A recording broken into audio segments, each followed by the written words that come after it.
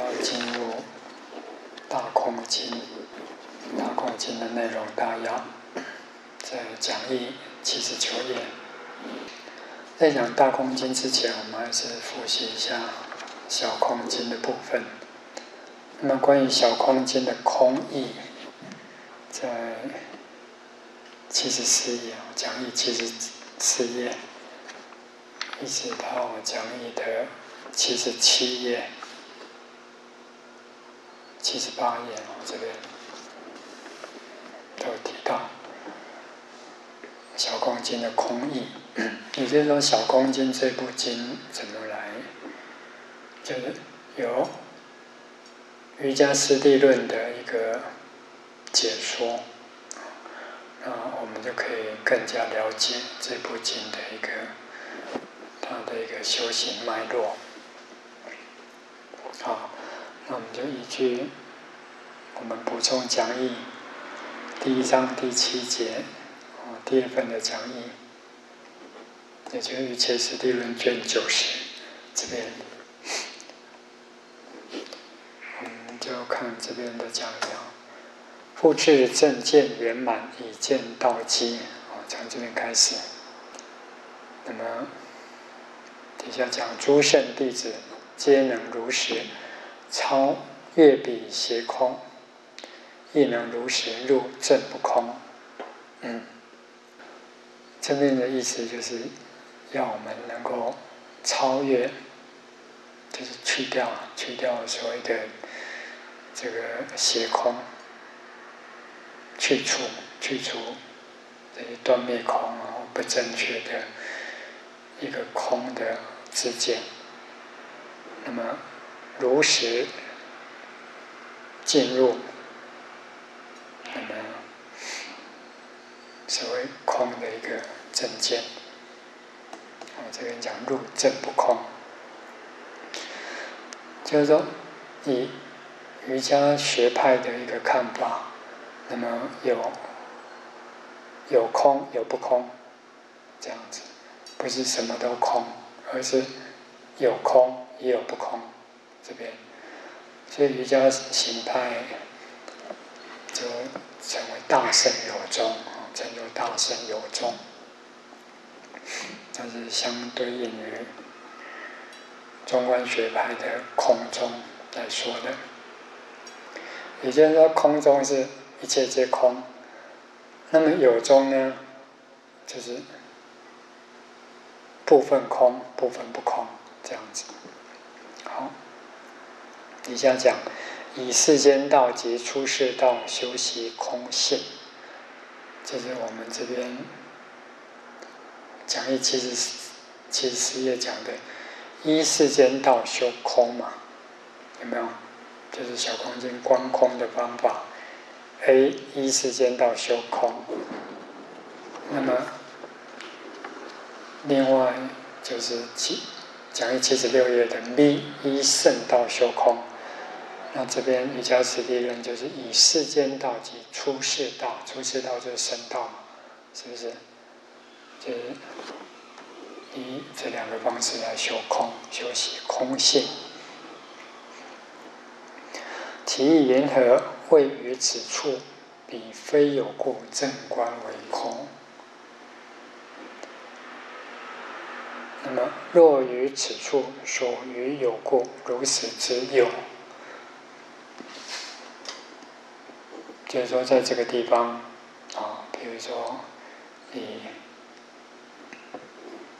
小空间的一个例子，入慈母讲堂空，就是说，在讲堂里面没有的，我们就把它观为空；那么在讲堂里面有的。比如说有比丘众在这边听法，那么我们要如实之有。比丘众在讲堂里面呢，不是没有啊，所以是要如实知道是有，啊，一个空，一个有，这样子。譬如克舍，啊，就是另外举一个例子，就是有，比如说这些。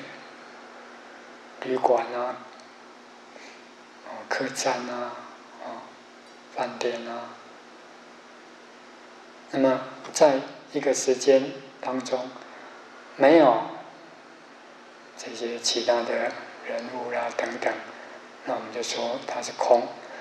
那么，在一个时段呢，哎，这些人物又出现了，出现种种的人物嘛，那这样子是不空的，就是有，就是不空，有出现这些人物。等等，出现在这个地方，那就是不空。那假设没有，没有当然就是空。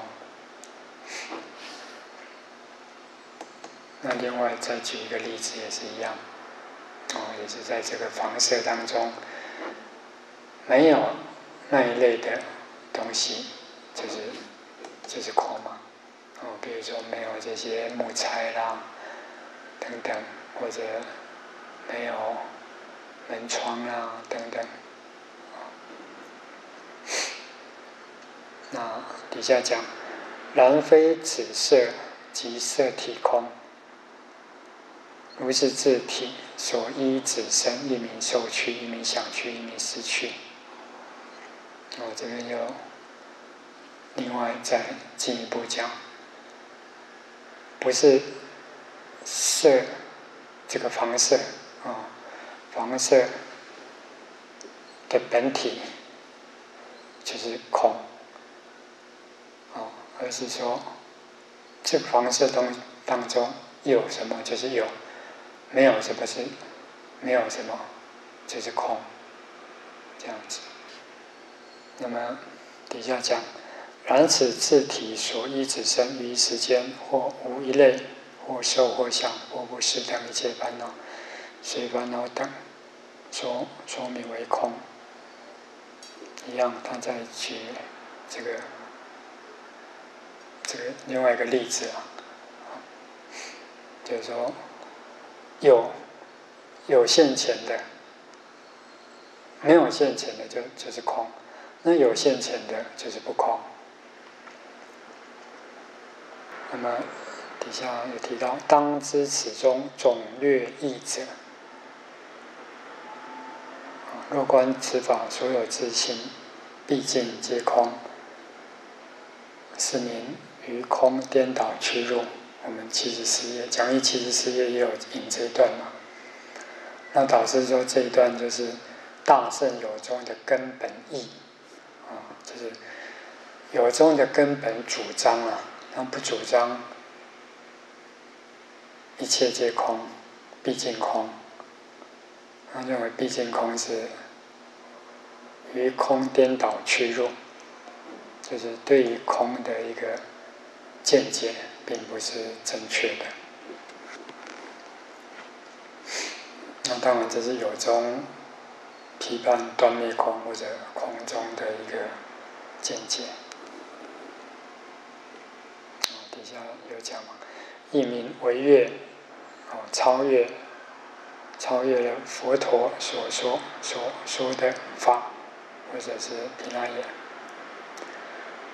就是你假设认为，就有中认为啦，你假设认为一切皆空，毕竟空，那么，那是对于佛陀所讲的法或者律，那是没有一个正确的认识嘛。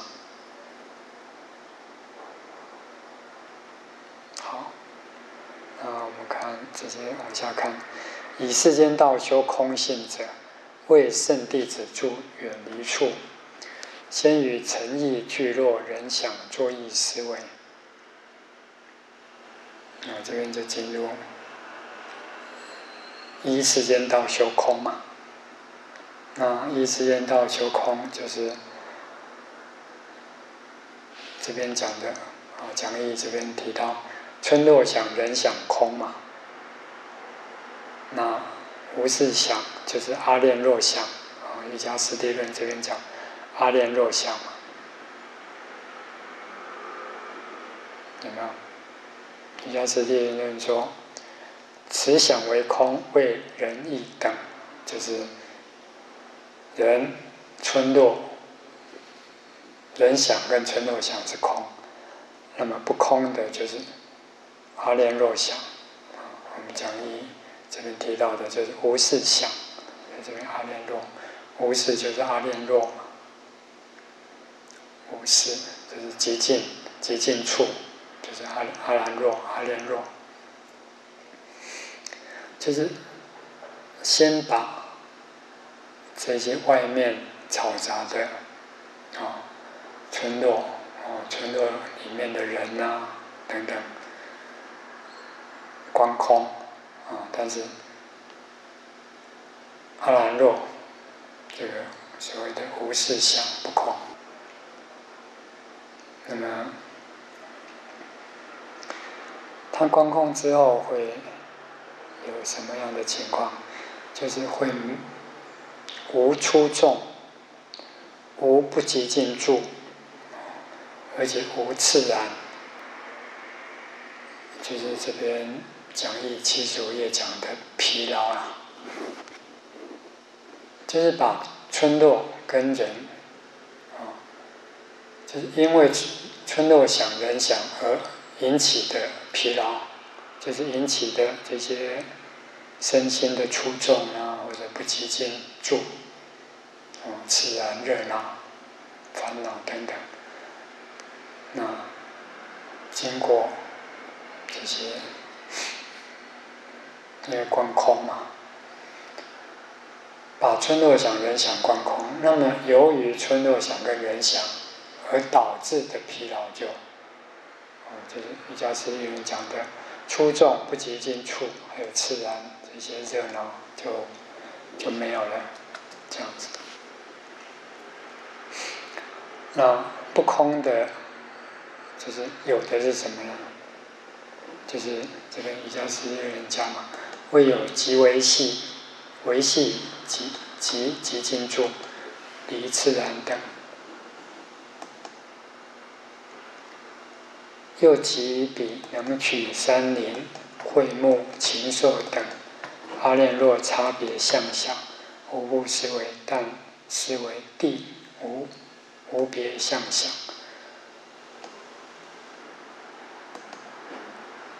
哦，这是下一个阶段了。下一个阶段就是讲我们讲一七十五页的第二个阶段嘛，那这时候要进一步的把无事想以及前面的人想把它观空，其实包括村落想嘛，村落想、人想、无事想都要观空，但是地地想是不空的，这样子。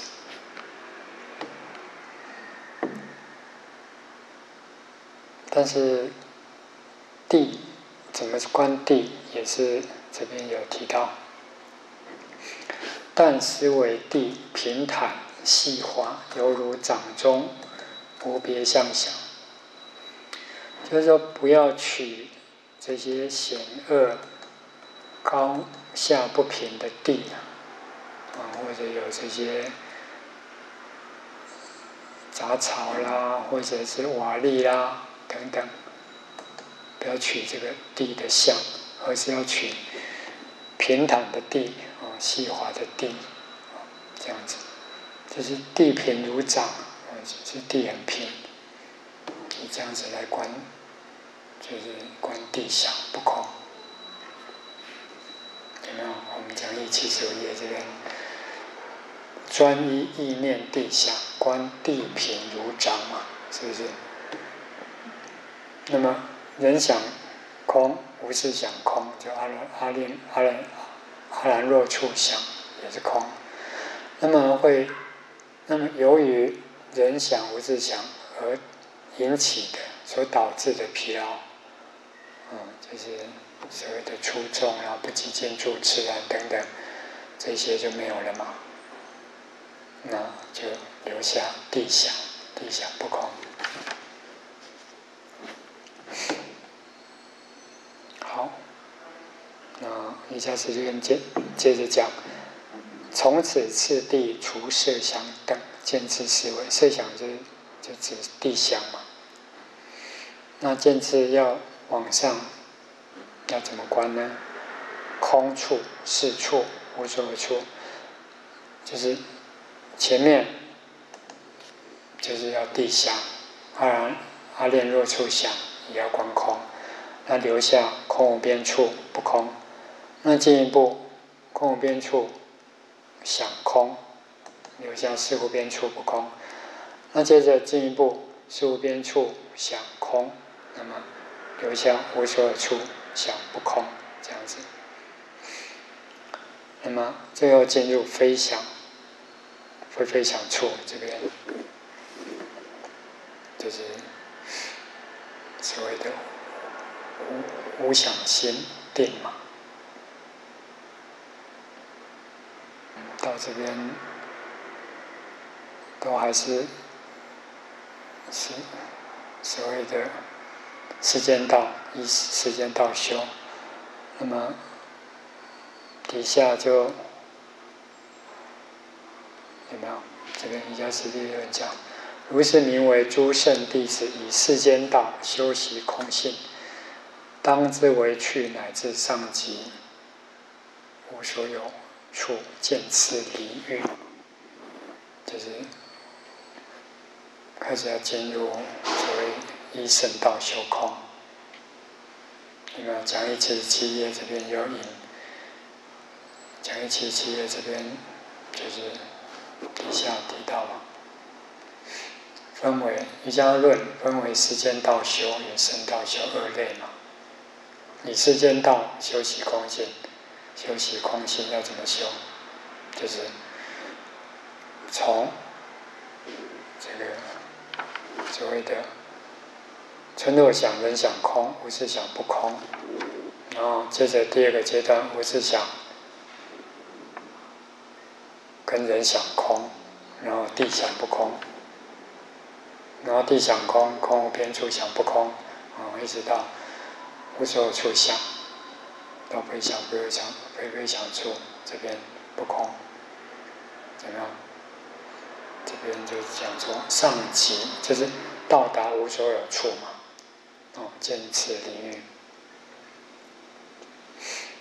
那么自私以后修行修圣道行，见次除去无常行等，那么能去非想非想出毕竟离欲。就是说，无所有就想再往上，就是进入。一生道来修空了啦。那么这样子一生道来修空的话，主要就是就这边讲的嘛，能去非想不会想处，毕竟于就是在无在无所处往上。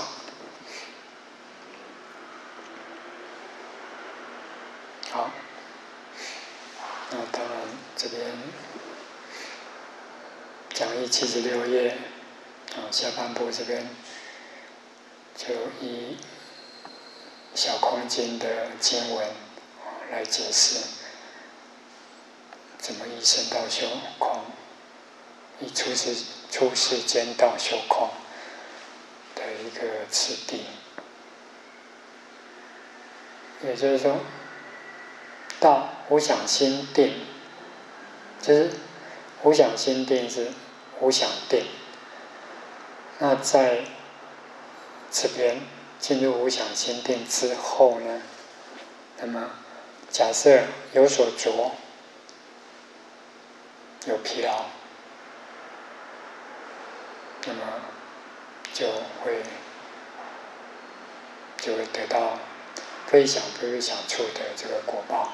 那假设不着，那么就能够依会得解脱，有没有？就是讲义七七页这边阿拉伯修这个三，但无想心定还是有违法嘛？还是有疲劳，有这个烦恼过患。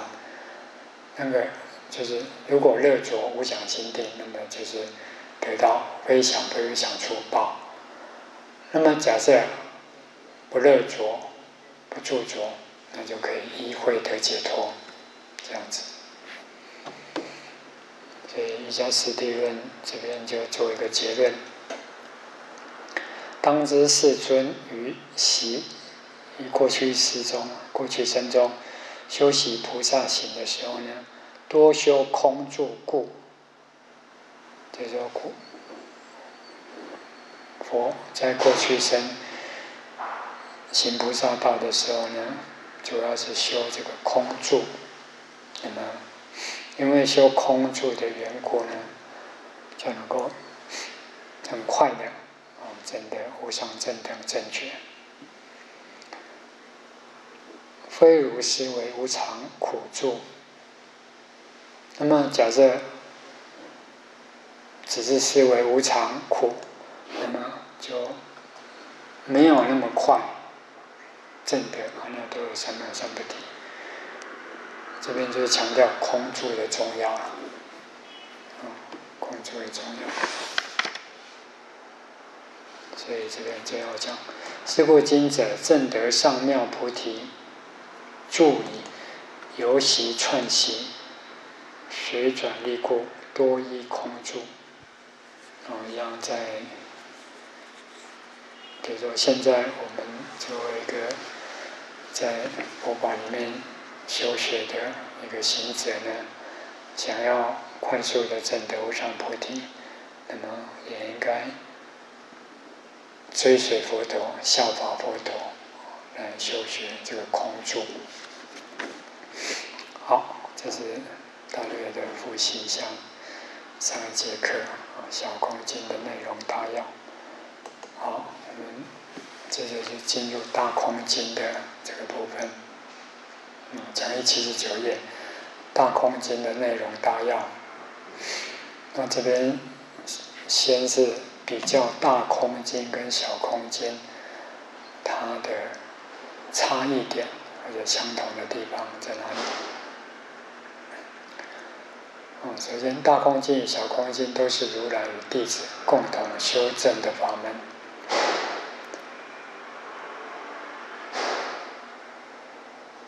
也就是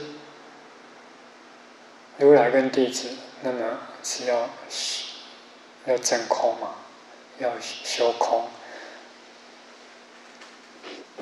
那么要修正这个空性呢，透过大空间跟小空间都可以这样子。就是说，不管是小空间跟大空间啊，都是修空。修空性、真空性的一个法门，有没有？都有一个空嘛，是不是？小空、大空。那么这是相同的部分，那不同的部分呢，在什么地方？小空间呢是由下而上的，就是速的层层超越。那么它是顺着禅定的次第。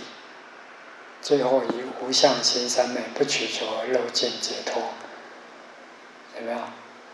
禅定的次第就是先先怎么样？阿兰若想嘛，先安住在阿兰若。安住在阿兰若的意思就是要摆脱这些世俗的五欲六尘嘛，是不是？就是要离开这些五欲六尘？那进一步就进入所谓的地想，那么地想就是等于是所谓的色界的市场，从初禅到市场，啊，地想就作为这个四根本禅的一个代表，有没有？我们上次有看到。讲义一五页这边，十片处不是有地片处、水片处、火片处、风片处吗？还有青黄赤白片处嘛？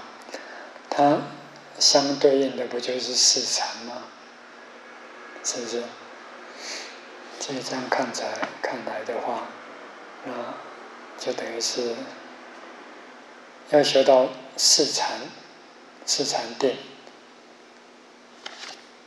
世界的四禅，那么能够进入无色界的四空定嘛？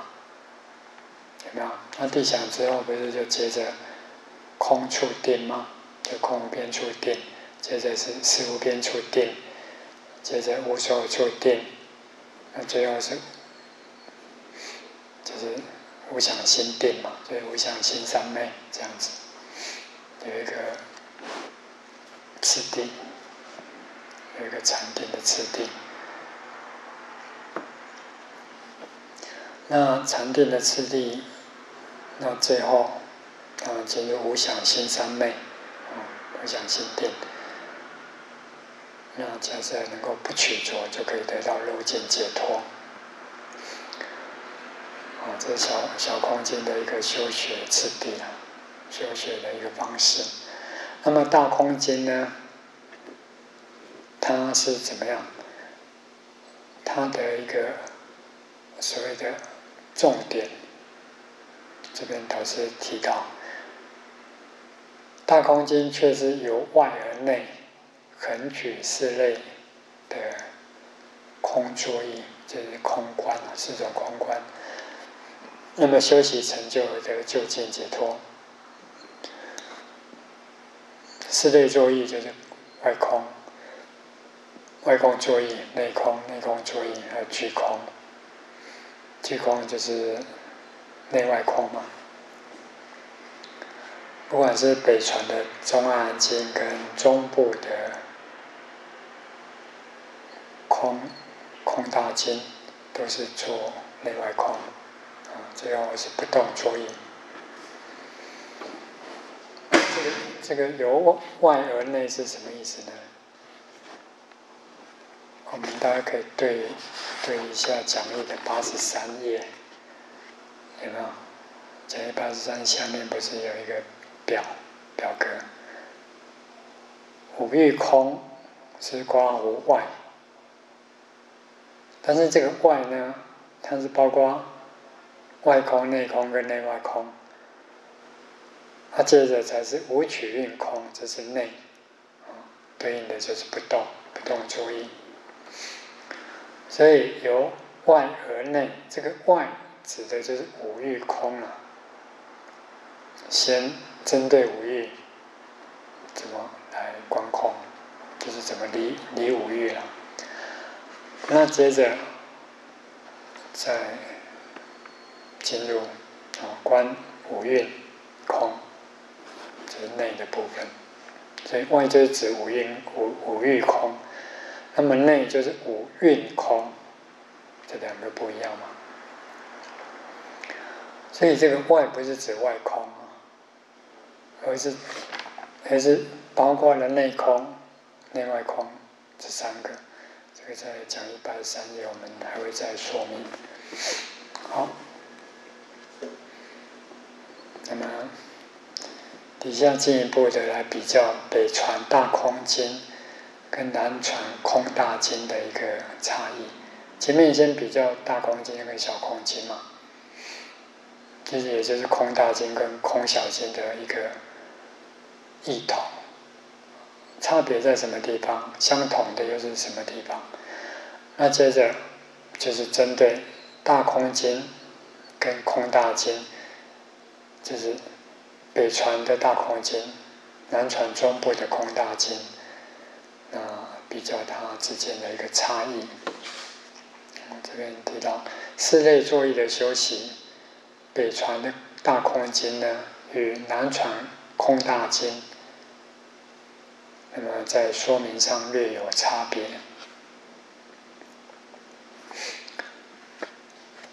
一一大空经说，修学者先要持内心住止，令得一定。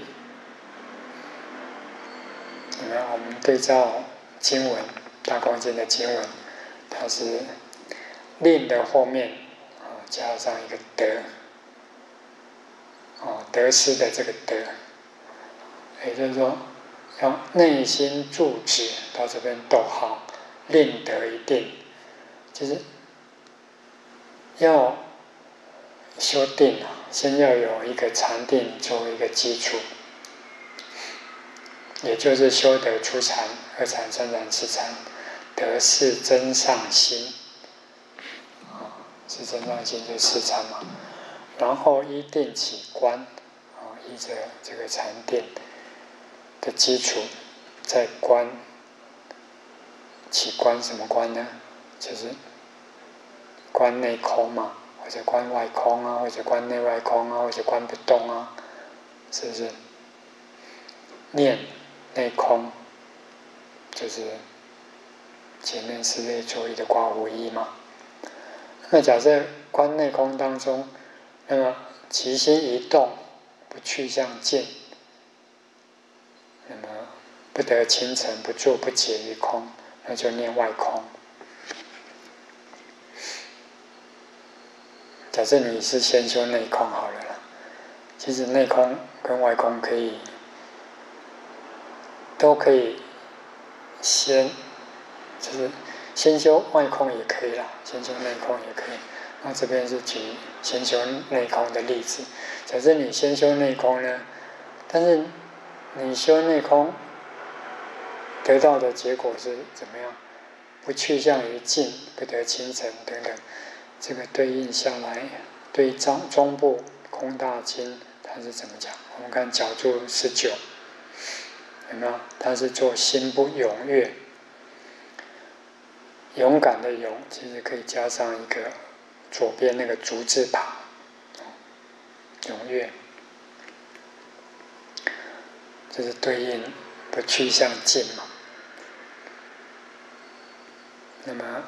不得清晨呢，就是对应于空大经的不欣喜；那么大空经的不住不解，就是这边空大经的不定住不解脱，有没有？这个相对应的一个情况，就是说，等于是你修内空不得力啊，没有达到。应有的那个效果啊，没有达到应有的那个成就，那么接着就可以转而修外空。假设外空又不住不解啊，包括不向去向进，不得清晨，那就念内外空嘛，光无三的内外空。那么又不住不解呢，不得清晨，不相不趋向进。那就念最后一个不移动，光无前面光无四的不移动，就不动作业。嗯，因为经文有提到不不移动嘛，那不动就是不移动的意思，不移动也是不不动的意思。好，看讲义八十页。总之要休息，多休息，达到心不移动，趋向于静。啊，趋向于静，你可以上面写一个心不踊跃，得清净。你上面写一个不心，嗯，应该趋向于静是心踊跃啊。趋向于静上面你写心踊跃。然后得清净，上面你写一个欣喜。那么住呢，就是定住。那么解，上面写个解脱。住解于内空，一直到不动。那么瑜伽师地论也有提到这个部分。这个部分在讲这个。讲一八十页的注脚，哦，讲注二十二，《瑜伽师地论》卷九十四四分有提到。那我们补充讲义是在第一章第七节的第五份补充讲义，哦，是 page 八十，因所证空，因所修修空，这这这边。好接着这边讲义八十页讲，南传大空大经别别的说明四类作业，并没有辗转次第的意义。啊，这是比对南传空大经的经文嘛？啊，导师说，他并他只是把它取出来，把四类作业将分别的取出来，啊，但是并没有说明它的一个次第啊。嗯，应该从哪边先？或者接着哪里，接着修哪个部分，哦，并没有这样子次第的一个说明。好，接着讲一八十页说明，这边是提到四类作业的意涵。哦，这个前面不是提到四类作业吗？那四类作业的内容，它这个部分到底是？什么样的情况呢？那么导师就以瑜伽师地论讲啊，瑜伽师地论以所证空与所修空分判四类作业，有没有？就是说瑜伽师地论的论主啊，这论师就把四类作业呢判为这两个，把它归纳为把四类归纳为两个。一个是所证空，一个是所修空。我底下讲四类作业的定义，啊，就是针对内空、外空、内外空不动。那么经文并没有确切的说明，没有一个很明确的说明。那么瑜伽师地论就进一步去来解释嘛，把它归纳为所真空，所真空就外空跟内空。讲义八十一页这个表，那么所修空呢，就是内外空跟不动这两个，有没有外空？他说这边是超过一切五种色想，就是外空。外空怎么要怎么修？就是要超超越了，超越这个五欲。五种色想，你上面写个五欲。五种设想，其实就是就是色、声、香、味、触这五欲嘛。这边不是刮五离欲贪吗？就是离开这五欲的一个贪着嘛。内空与内诸行，那当然就是内诸行指的就是。内六处嘛，内六根，那么要断真上慢，啊，所以刮胡离我慢。其实外空的重点就是离欲贪呐。简单讲就是，外空要达达到什么效果，就是要离欲贪；那内空要达到什么效果，就是离我慢。或者说外空指的就是要离欲空。离贪欲，啊，离欲贪。那修内空呢？那就是要离我慢。其实我慢也包括我见啊，我爱啊，我吃啦等等，是不是？见爱慢无明嘛，不是有这个四根本烦恼吗？啊。所以外空内空，瑜伽师这样归纳为所证空。那接着所修空呢？内外空是什么？内外空要修什么？修无我见，要观内内六处，外六尘。那观无我无我所了。那不动作业呢？就是要修无常见。要观无常，好，所以这边分所证所修。那么依经文的四类作业呢，而分别为所证空与所修空，先证而后修。如果照次第，就是外空、内空。这边算排在前面嘛？那不是先正吗？那内外空不动排在后面，不是后面在修吗？一般是先修再正嘛。那怎么现在变变成先正后修呢？有修有行才有正啊，才有正德啊。我们讲修行的次第不是信解行正吗？闻思修正嘛，信解之后行之后正，闻思之后修之后才正嘛。那这边怎么会先正后修呢？所以导致说这不过是论师的一项解说啦。就是说论师在说明上。嗯或许有啊，论师的一个见解，一个见地。那这不一定是佛陀的一个本来的意义用意啊，本来的意思。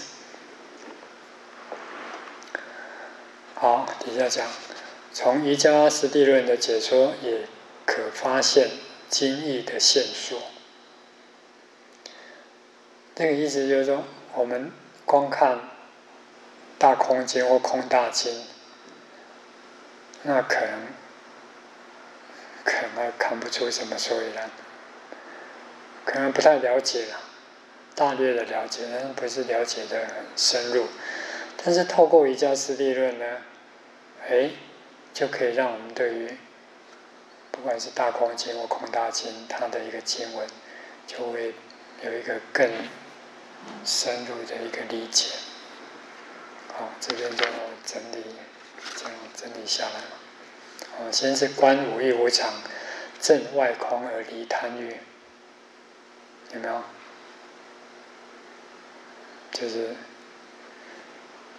把整段啊大空经的经文以及瑜伽师地论所说明的整理成这两句，就是。观五欲，外在的五欲六尘呢是无常的，那么这样子是要证得外空，那就可以将贪欲哦远离，可以断断这个欲贪了。好，有五欲功德，可乐可意。那么应该是可念了，它这边是所念应该是可才对，可意可念，那么可爱，色欲相应，那么这四句呢对照《杂含经》啊，我们看角注二十四，《杂含经》的卷十三三一一经，有没有？这边讲，眼见可爱，就是前面我们讲这可乐编号一嘛，那么可意二，可念三，可爱是四，所以可爱就前面的四嘛，可乐就这边的一，可念呢就是三，可意就是二嘛。那接着，《杂行经》说是长养欲之色，就是欲贪之色啊。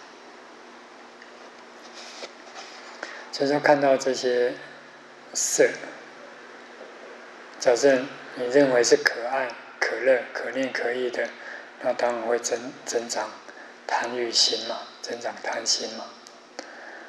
所以《杂行经》长养欲之色。长养欲，那对照上面的就是色欲相应嘛，所以这边大空经的色欲相应就是杂含经的张扬欲之色。好，底下眼之色，耳之声，鼻之香，舌之味，身之触。有没有？就是五根对五尘一样。若比丘心自道，就是说心心里面所想的，观指无欲功德。啊，就是心智上应该是指心念嘛。那么在心心心念当中观持五欲功德，五欲功德其实就是五欲啦，因为这个功德的这个范文呢，它有特特特性哦性质的意思，或者这样看啊，就是五欲它有什么作用？它会让我们乐着嘛，会让我们觉得可爱，它的一种作用。好，接下讲，观持无欲功德，哦，点点点，观无常，点点点，如是比丘观时，则知者，此无欲功德有欲有染，彼以断。哦断什么呢？就是断欲贪嘛，是为正知。啊，五欲，五欲六尘，啊，五欲，这色身香味触，这五欲，它虽然会让人家染着，啊，起贪欲心，但是也可以借由这个观空的法门来断除它。所以这一段的话。当然是参考，啊，参考大空经。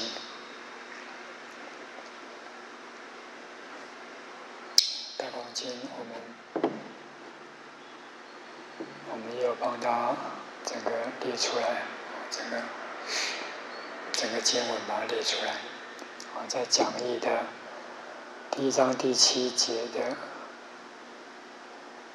零一之二，这中啊大空经。那么大家可以在这一段啊，有五欲功德，一直到四位正知这四行啊，这四行这一段呢，大家在旁边写一个六之四之四，因为底下说明啊，底下。说明经文的架构有没有？我们先看讲义八十五页。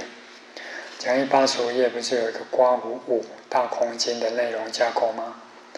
这边就是编号阿拉伯数字的一，一直到八十六页的六。所以你在一的旁边写个六之一，二阿拉伯数字二的旁边写个六之二。阿拉伯数字三旁边写一个六之三，四旁边写一个六之四。那接着四的下面的第一行注于空注那一行，你写个六之四之一。那翻翻到讲义八十六页，八十六页的第二行，如魏众说法，啊，不说非圣无义的种种世俗论。我这边前面写个六之四之二，再挑一行寻思时正之而不起三不善寻，这边旁边写个六之四之三，再往下一行外对五欲进时这一行写个六之四之四，有没有？就是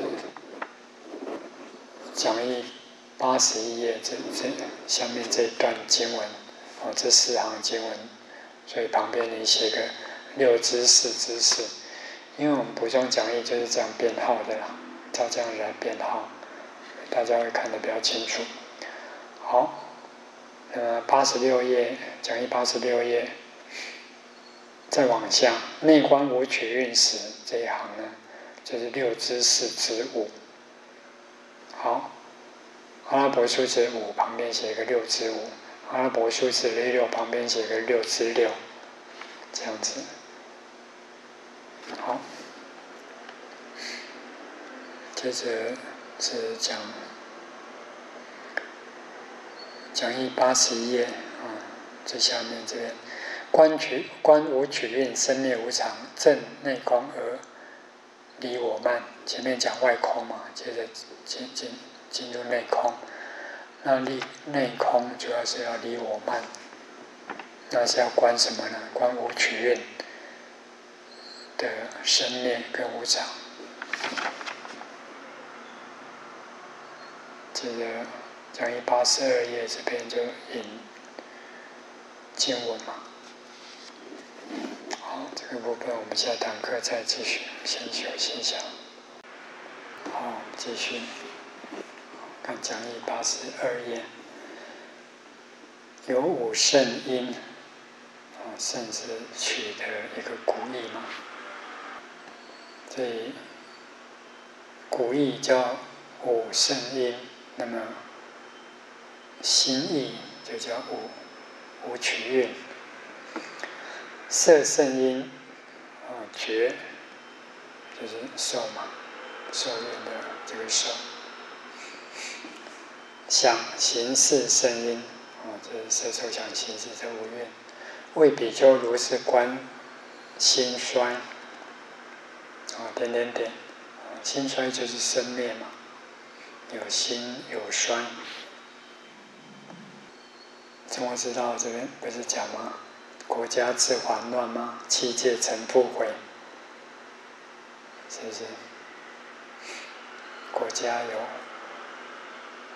有比较安定的时候，也有比较不安定的时候嘛。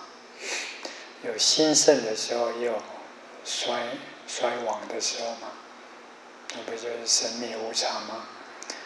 所以你在兴衰的下面写个生灭无常，哦，点点点等等，点点点的部分在大空经。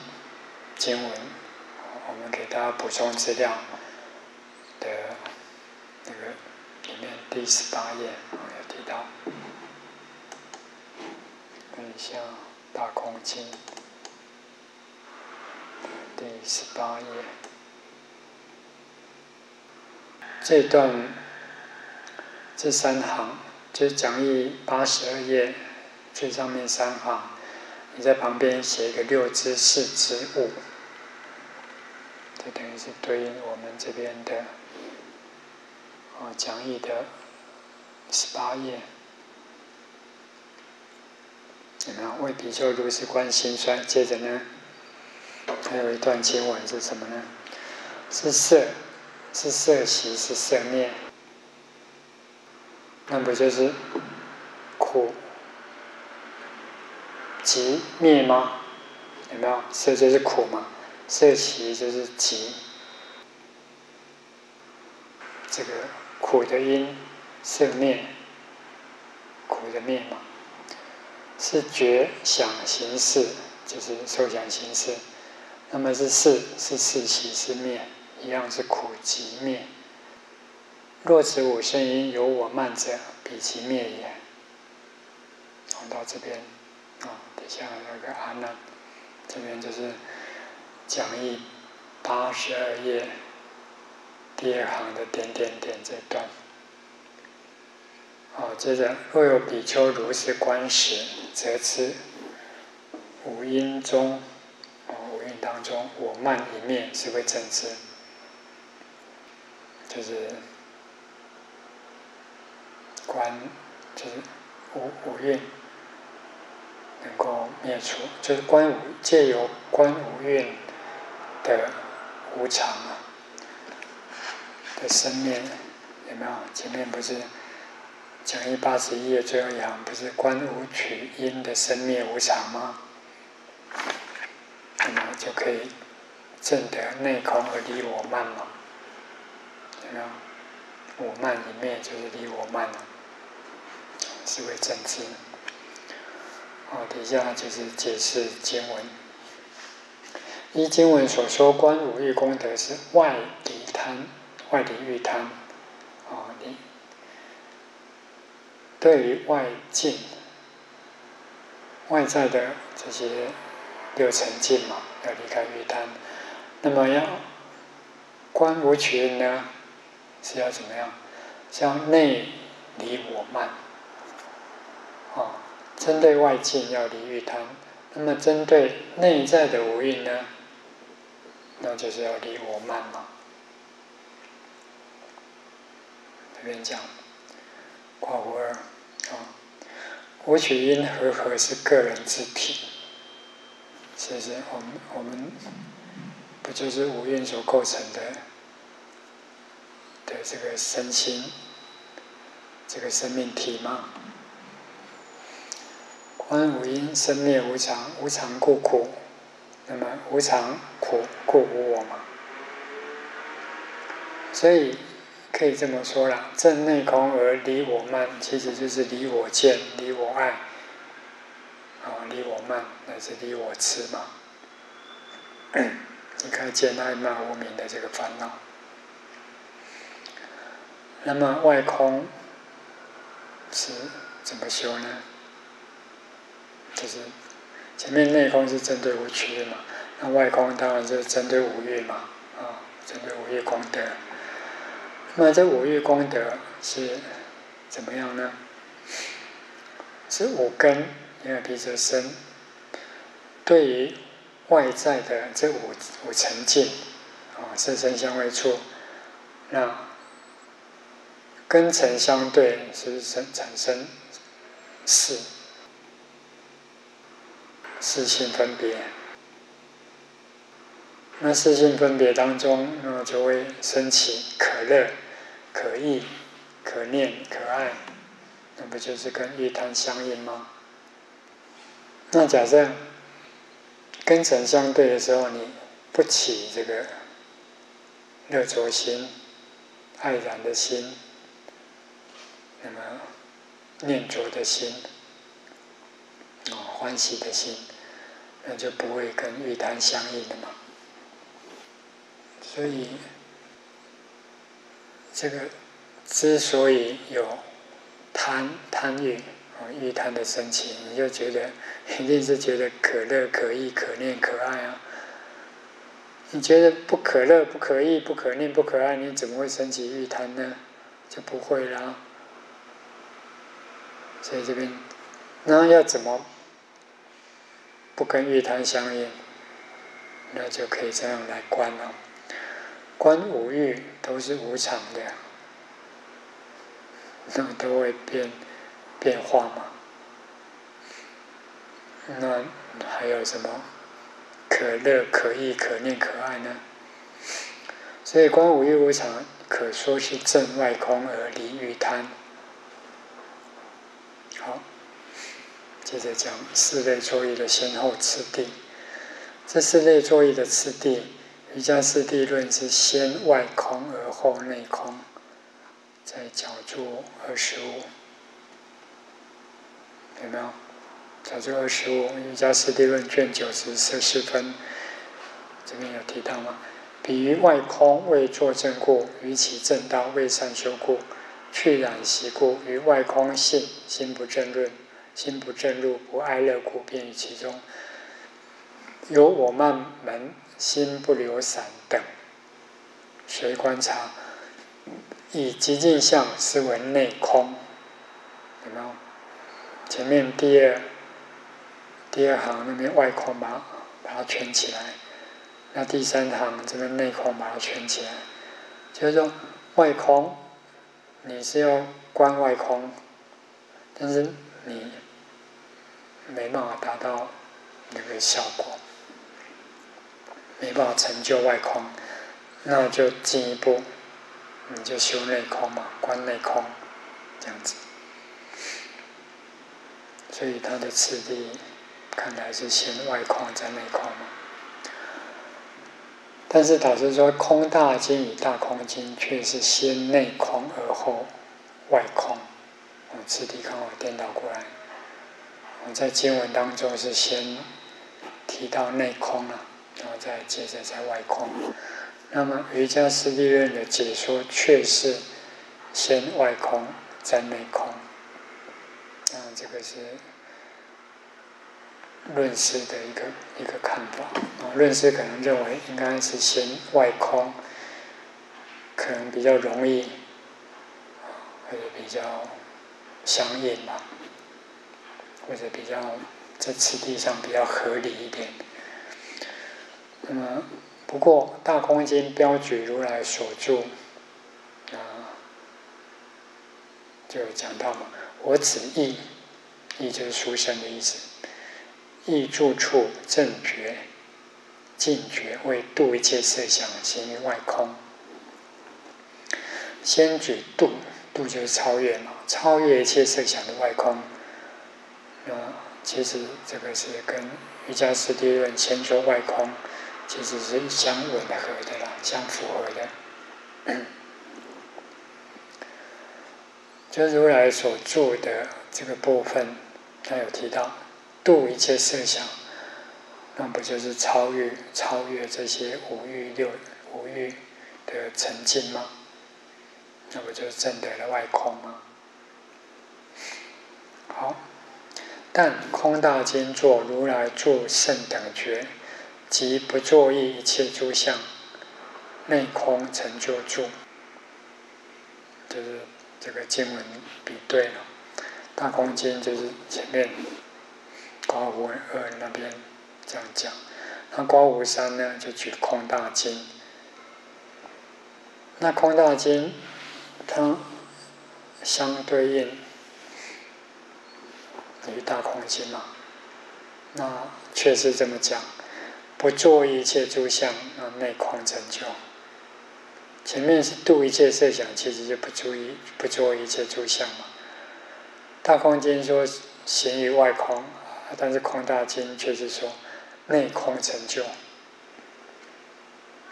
所以这个经文之间还是有一些不一样的地方。好，看讲义八十三页。室内作意思想之开展。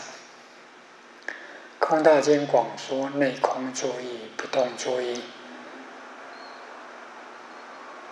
就是在经文的当中有广泛的对于内空以及不动，内空作意跟不动作意做一个比较广泛的说明。但是对于外空跟具空，就内外空。外空做一个内外空做一次简略的提到这个名目，大家可以参照教注二十八。所以这修空的教授起初可能只有二类，就是一第一类呢，就是空与无欲的无欲空；第二类呢，空就是。空于我，空于我所得这个五蕴空由于五欲是内内六根嘛，那五欲是怎么来的？那六内六根对外六沉静嘛，相关是而引起的。光是只有内六根没有外沉静，那你怎么升起这个欲贪呢？光是外层境，外。外的这个境界没有练六根，也不会升起欲贪啊。所以内六根、外六尘，然后内五根、外五尘都可以，但是互相关涉而引起嘛，引起这个欲贪。所以观五欲呢，啊，当然就可以分别的观外境是无常的。观我们内在的六根也是无常的，跟观这个内六根对外六经，哦内外缘所升起的一贪，啊这些事情分别，这些贪欲心也是无常的嘛。也就是不管是内六根、外六成见，乃至内六根对外六成。产生的六事都是无常的嘛，但是在传授当中分为内空、外空、内外空，就是个别的，也是可以可以个别的来观空啊，观内内六内六根空，观外外六尘空，啊观内六根、外六尘都空，分别来观也可以了。空与五欲的分别观察，其实是内外关联者。先观外空或先观内空都可以，有没有？它既然是互相关涉，就是它互相就是相互为缘呐，互为缘起嘛，是不是？互为缘起。那么，所以。那你要先观外外境，或先观内六处空，哦，先观外空或者先先观内空，不是都可以吗？就是不一定要先外空，或者是先内空啊。你外空或内空其中一个先关都可以嘛？这样子，乃至。内六根、外六尘所引起的这六事分别嘛，从这边来关，是不是也可以呢？有没有？我们底下这个表，五欲空不是外吗？那其实是这外是对于内的五取来说啦，五欲，啊，毕竟比较偏向外嘛，那五取运比较偏向内，那。五蕴五欲空的这个部分，又可以分三种，哦，针对外外外在的六尘境，啊，针对内在的六根，啊，针对内外，啊，内六根外六尘，哦，针对外境的就是外空，针对内内六根的就是内空嘛，针对内内六根以及外六尘，那不就是内外空吗？或者针对六根六尘产生的六识，那也是观内外空嘛。那接着观无取运空，就是不动注意。好，这边说明空与无欲的空观分为外空、内空、内外空。于是对外空无欲而本有内空意义的观无取。运而空于我们的，就称作不动嘛，是不是？就是说，这就算算是一种相对啦，它是一种相对的一种分类啦。既然把这个外空、内空、内外空把它分为一组，啊，那么。那另外一组不就是不动作意吗？是不是不动作意？那就是针对有这个内在去观空的那个含义，那就是观无取因嘛。那观无取因主要是要除去这个我慢嘛，空于我慢啊，所以称为不动作意。啊，这是这是这种。分类法啊，这是分类。所以依照这个表格的一个分类，有没有？讲义八十三页这个表的表格的分类，是不是比前面八十一页这样子的分类，是又是又是另外一种分类？是不是也是也是很清楚？有没有？外观五眼空，内。观无取眼空，那么外的部分又分外空、内空、内外空这样子。那内，嗯，就称作不动作意。好，接着，提到大空经的空行，它的源头是来自于杂含经的空住。大空经的空住或者空行呢？就是有关于空观空的这样子的修修行法门，或者是跟空有关的一种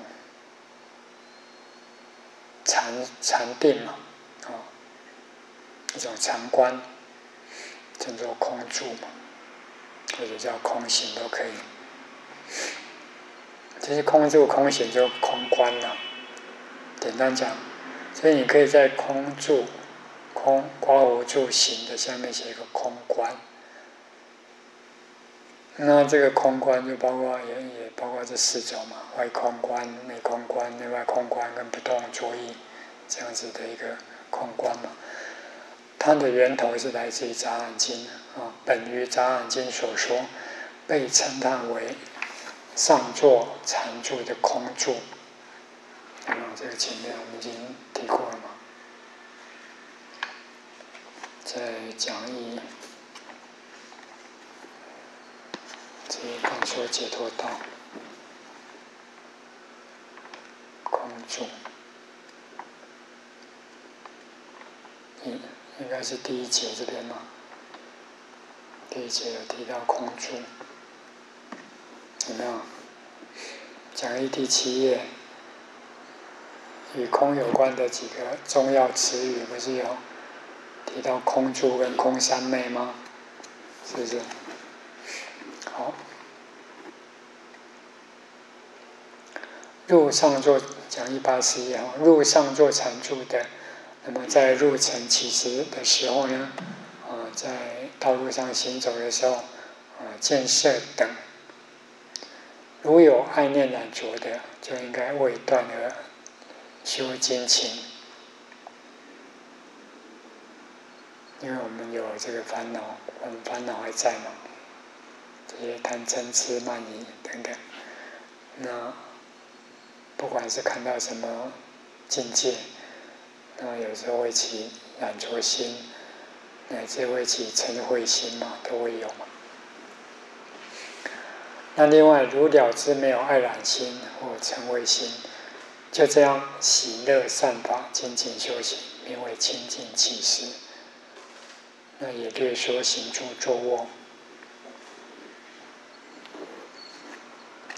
就是说，在行住坐卧当中啊，哦，这他是是举入城起时，他主要是在道路上行走嘛。那托钵其实不是要要走到城里面去吗？去托钵其实嘛？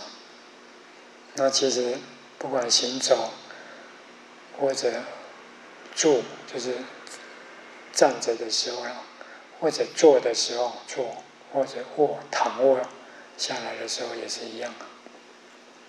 那行坐坐卧二六时钟啊，啊，不管什么时候你都是要这样子安住，安住在空住当中。与此相当的中部，其实《清净经》呢所说的要广泛的多。中部的其实《清净经》在角注三十一，它的内容呢怎么样？内容为入城起时往来六根于色，哦，点点点到法。那么因离欲贪等烦恼。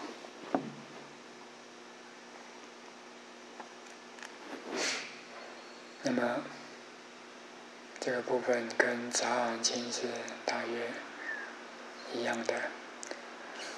然后说五妙欲断，五盖断，五取运片之。片之后面你写一个无常啊，或者无苦也可以嘛，无我也可以嘛。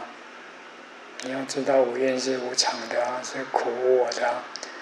修四念处点点点到八支道，八支道八正道，所以四念处到八圣八正道不就是三七道品吗？所以你在四念处点点的点点点到八字道下面写个三七道品，哦，底下止观，哦，不管修定或修观会。那么还有证明解脱啊，就是证得三明六通嘛啊。三明是什么？天眼明、宿命明跟漏尽明。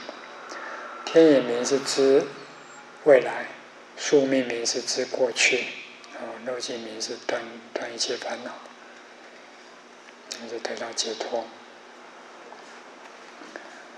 好，讲义八十页，空住当然是常观。空住就是安住在空观当中呀，空住其实就是空观嘛，那当然就是禅观，禅观的这个法门，但要应用于日常生活当中，就是说不只是打坐啦，或者是不只是修定修会的时候，你在日常生活当中也是要要这样子来安住。好，中部的其实清净经与空大经是非常接近的，所以这个意思就是，中部其实清净经的内容，它的精神，跟空大经里面的内容，它的一个一个精神，它可以说非常接近了。为什么呢？因为这两部经都怎么样？都非常注重六根对六尘境的当下。就是说，行住坐卧，当我们六根对六尘的时候，那你怎么去注意？怎么去关照你有没有染着啊？还是你没有起贪嗔痴啊？假设你没有起染着心、贪嗔痴的心，啊，不管。你起起贪嗔痴也要精进，要断贪嗔痴嘛。那你如果不起，没有染着心、爱染的心，没有起贪嗔痴，那么也一样，要继续在精进。那都是很着重哦，非常注重六根对六境它的当下。哦，当下要怎么关照来练习嘛？接着讲大空经的内容讲过。大空经是接近于起始清净经，中部一无一经起始清净经但是它是以四类作业，四类作作业，你底下写一个观行，就是这就是四类的空观呐，或是或者四类的观行。这个法门为核心，重于日常生活的应用，内容更广，怎么样？是不是内容就更为广广泛？因为既然是那日常生活呢，那在日常生活当中就不只是禅修打坐啦，或者进行啊这些。那日常生活那那就很多啦，行住坐用，行住坐卧嘛，这些。好，一侧面比丘乐独住远离处，比丘如喜乐多众聚会是不能得出离乐、远离乐、极尽乐等觉乐，那么也不能怎么样。得到阿罗汉的究竟解脱，哦，这是侧面哦，勉励比丘常乐独住远远离处，就是就远离这些嘈杂的啦，众人聚会的地方，哦，那么要怎么样呢？要安住于适合修行空住的地那个地方，那就寂静比较安静。宁静寂静的地方吗？这个部分在我们的编号是六之一，六之一这一段，哦，它就分六段了，就是把这个大空经的内容呢分六段，啊，这样子来说明就很清楚，因为这个七千多字还。经文有七千多字，算不少，所以他就导师在解说上就分六段来来解说嘛。那我们一样把它分六次一到六之六，啊，六之六次一，有没有？我们看经文，十世尊复告阿难曰：“啊，世尊就告阿难尊者说：比丘不可欲喧哗的华嘛，不可欲华说，乐于华说，何会华说？欲众乐众，何会于众？”不欲离众，不乐独住，远离之处。就是说，师尊是跟阿难讲，但是其实就是对于比丘的一种告诫啦。啊，不要只喜欢这个喧喧嚣、嘈杂，或者喜欢人众聚集的那个、那个、那个场合。若比丘欲话话说，乐于话说，何会话说？欲众乐众，何会于众？不欲离众，不乐独住，远离处者，谓有乐，胜乐无欲之乐。就是说，因为远离处有什么好处呢？就是可以得到这边讲的嘛。我们讲一八十五页，不就得到出离的吗？在这边的离的远离啊，离的就是包括出离跟远离。习乐就止息嘛，就极静嘛，极静乐啊，等觉乐。然后这边就正觉之乐嘛。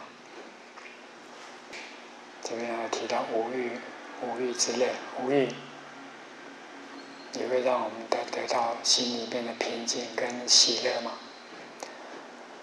那最终就是得到解脱生死，非生死乐，可以不受生死轮回的，这不是最最乐吗？若得如是乐，亦不难得者，终无是处。这边都是，就是说你要能够独处了，要能够独自在。极静处才好修空嘛！你在那么嘈杂的地方，很不容易修空啊，是不是？除非你已经有很很很高的禅定功夫，除非你你的你的这个禅定已经是很深的，啊，所以一般人还是要要远离啊，远离嘈杂的地方。远离群聚的地方，就是说要得到出离的、远离了极静的等觉的，那你就不能喜乐于人众多的那种场合了，不能好要这样子跟大众啊聚会。不过大圣，大圣，大圣是怎么样？大圣修菩萨道，就一定要跟众生相处嘛，是不是？你没有跟众生相处，你怎么去行布施？怎么去行忍辱？是不是？所以解脱道跟菩萨道还是有些不太一样的地方。哦，当然，菩萨道也要有这个，也也要有一些基础了，也要有相当的基础。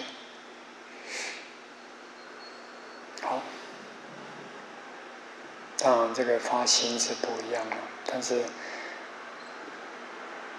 都是要，那么解脱道是成就成就解脱嘛，成就阿罗汉。那菩萨道主要是要成成就佛道啊，是不是？它的标的不一样，那它的法门也不一样。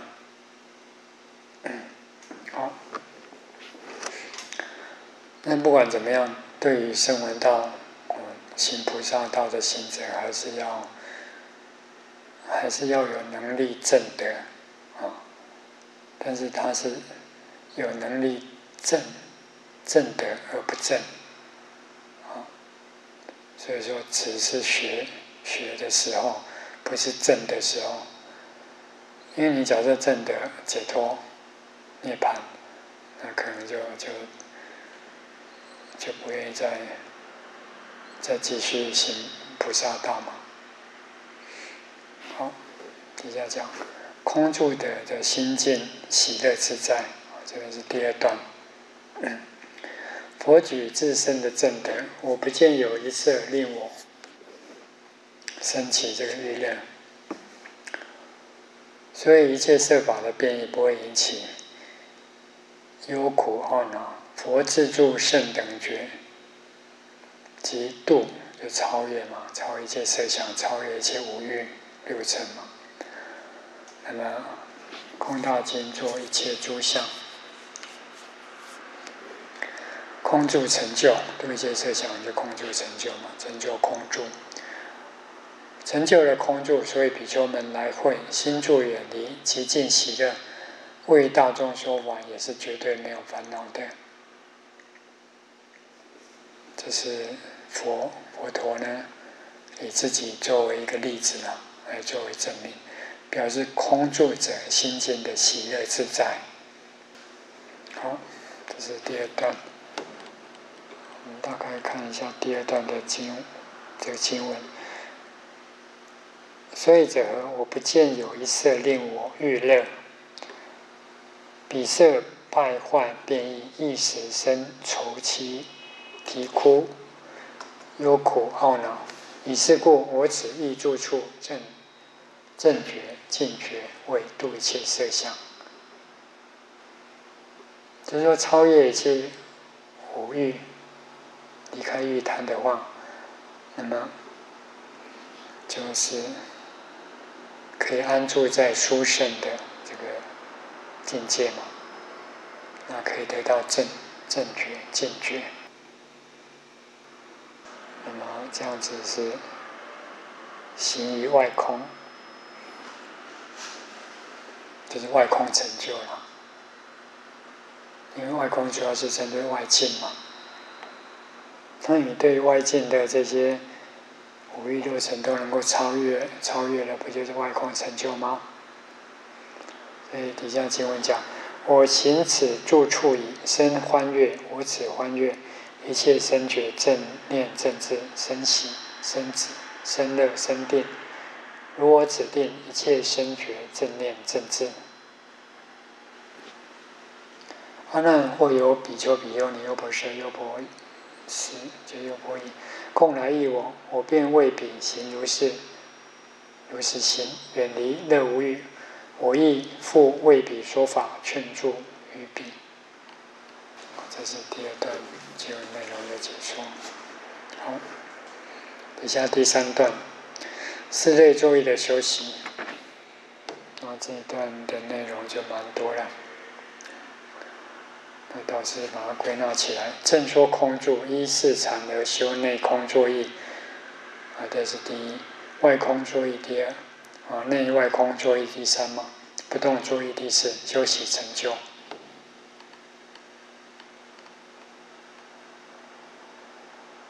有没有？我们看经文：阿难若比丘欲多行空者，比比丘当持内心住止，令一定。有没有？彼持内心住止，令一定矣。当念内空，所以这边等于是经文来看的话，就先次第上先内空，先先观内空嘛，然后接着在外空，怎么样？那若比丘观时，则知念内空，其心移移动，不去向近，不得清晨，不住不结于内空者，比比丘当念外空。所以说，假设内空没办法成就，那接着也可以进进行这个外空，外空注意，有关外空。这样一些下去哦。那最后，那假设内空也不起不成不成就，外空也不成就，内外空也不成就，乃至到了不不移动都不成就，怎么办呢？那么这边经文讲，假设不住不解于不移动者，比比丘，比比心与比。与比比定，欲复欲，习复习，软复软，上快柔和，色乐远离。就是说，你这四种作业都不成就的话，那你还是要，等于是要继续练习的，继续修内空、外空，或者内外空，或者不动。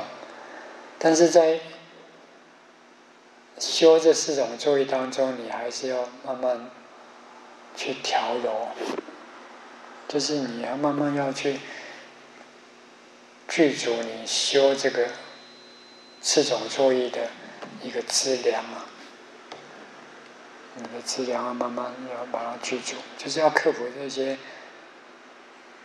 修空的障碍啊，修四四种作业的障碍，不是说。没办法成就，那就不修了。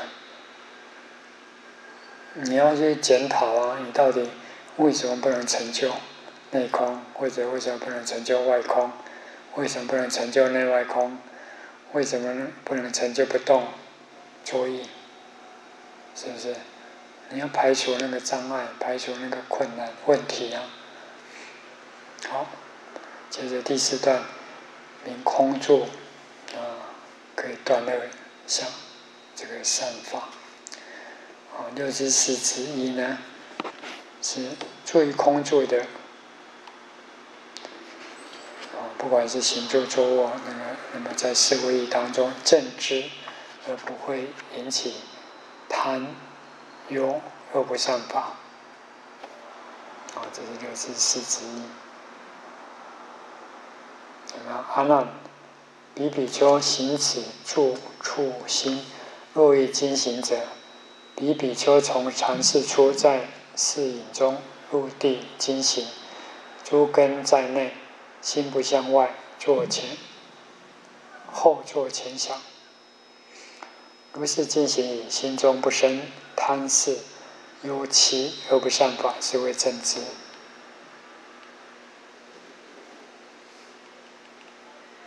啊，这是六知四知二嘛，如为众说法，不说非圣无义的种种世俗论，而说戒定慧等正论，就是顺于正道的这些谈论我们看经文怎么讲：阿难比比丘行此住处心，若欲有所说，比比丘若。此论非圣论，无以相应，就是不跟佛法相应的有哪些？不跟圣道相应的论有哪些呢？比如说王论啊、贼论啊、斗争论、饮食论、异辈论、妇人论、童女论、淫女论、世间论、邪道论、海中论，啊，不论如是种种畜生论，有没有？这个。他用这个畜生论来表示说，这个是世俗一般的谈论，这个有一种贬义，或者就是看得非常的下列啦。就说世间论，它当然是世间有这个需要嘛，但是作为一个修行人，他。主要是要在佛法上去深入来精进用功。那你你在如果在世俗的言论上、谈论上打转的话，那是不是会影响到道行呢？是不是？所以要谈论的就是有关于戒定慧这些啦，就是跟圣道相应。跟佛法的义理相应，令心柔和，无诸因盖。啊，比如说诗论，有关于布施；戒论、定论、慧论，啊，有关于戒定慧三真上学的论嘛。哦，解脱论、解脱之见论、见损论、不会论，烦恼要渐渐渐的减损啊，就是不要跟这些烦恼来会遇嘛。哦，不要搅，不要搅烦恼，不要跟烦恼搅在一起啊。少欲知足，无欲啊，断论灭论，厌坐，厌坐就禅坐嘛，禅定，禅定方面的论，缘起论啊，有关于智慧方面的论啊，如是沙门所应该谈论的就是这些啊。好，接着六之四之三，寻思时正知而不起三不善寻，起三善寻。就是说，在寻思，就是说你有一些心中的一些念头升起的时候，就会升起善的念头了，不要升起不善的念头。啊，升起这个不贪不嗔不痴嘛，不要升起贪嗔痴这些念头啊。哦，不起贪忧恶不善法。啊，六知四知是。外对无欲尽时，观无常而不起欲然。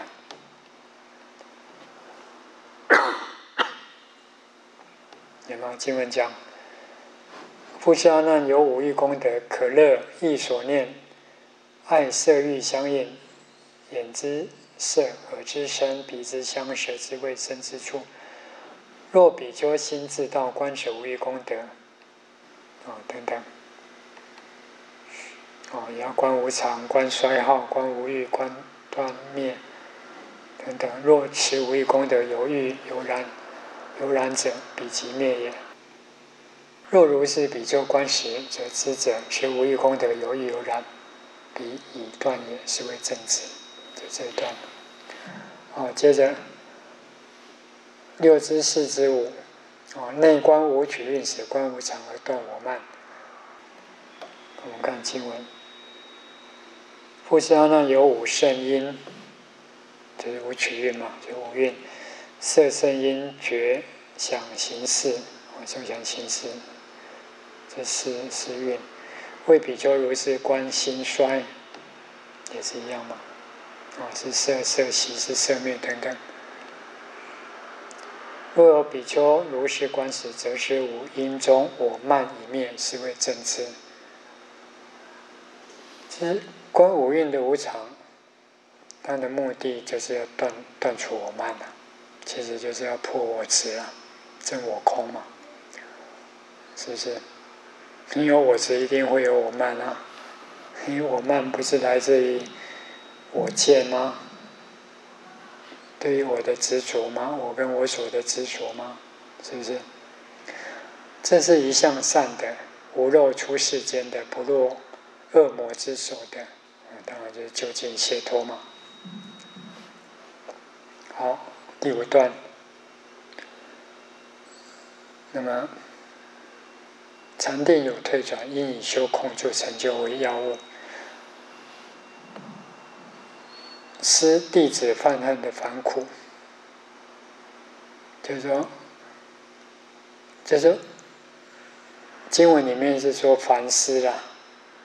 凡弟子跟凡犯恨，就是说你在思的前面加一个凡，凡苦的凡；弟子前面加一个凡，哦，犯恨前面加一个凡。那加一个凡，就是不管是师师长或弟子或者犯恨，那么有退转，在修学当中有退转，那当然会。会导致这个苦恼嘛？导致烦恼。啊，简单说，如住在阿兰若处，得是真上心，就是禅定嘛。因人众往来引起恶不善法而退转的，就是烦苦。这表示的禅定是可推转的。那么修出离行，应以修空住成就为要务。禅因为禅定是共世间嘛，那世间法都是会进进退退嘛，所以我们修出离道、修解脱道，那重要的就是以以禅定做基础了，然后主要的重点还是修空住了，修空观嘛。修空观成就，就才能够得解脱嘛。空观不能成就呢，那再高的禅定也没办法解脱嘛，是不是？好，最后一段六至六。尊师慈悲为弟子说法。哦，作为师长的应该有慈悲心，要为弟子说法。那么作为弟子呢，应该遵从师长的教诲，教诲来依教奉行。这边就引经文嘛，尊师为弟子说法，连念悯伤，求益及饶益。益其实就是利益利了，其实也是利益的意思，也是饶益的意思嘛。就是为了要让弟子得到利益嘛，啊，得到法的饶益，那么就应该为弟子说种种的法门。出于利他的慈悲心，弟子们，那弟子们应该怎么做呢？就是师长的说法，这个讲经说法嘛，他的出发点应该是利他，哦，要利利益众生，要要要，主要的出发点是要利益众生啊。那这样子有这个慈悲心，这样子说法。能够让弟子们、让众生得到利益嘛？那弟子辈呢，应该怎么样？弟子们应该受持正法，不为师教。哦，弟子们接受师长的教诲，啊，那就应该要依教奉行嘛。啊，不要违背了师长的教诲，啊，才能够得到法的饶益。好，我们今天就先到这边，接着我们下一堂课再继续。好。